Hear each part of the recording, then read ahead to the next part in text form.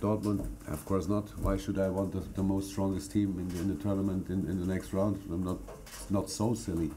So um, and um, but if well, then we go there and, and try to win Tilburg because I, I saw only a little bit of the other results, but I'm pretty sure there's no no no easy game anymore. So it's not too important. Only we have to be prepared, and hopefully we are.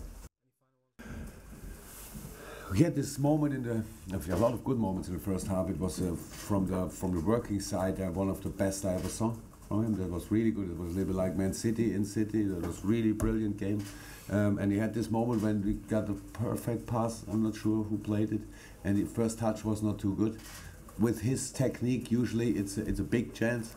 So you saw in his face it's not too easy for him to handle this, but. Um, um, yeah, he has to trust more in himself because it's clear with his quality he always will get another one. And that was, of course, how I said it was brilliant what he did. It was the most unexpected uh, what you could do in a situation like this, and perfect goal. the dream that you had? oh, what can I say? In my dreams, I win all games, but um, it's a draw. Uh, but we are through, so that's good. And we had, um, yeah, it was it was good. It was good. It was intensive. Um, we we deserved the next round. I think there's no doubt about this, and that feels really good.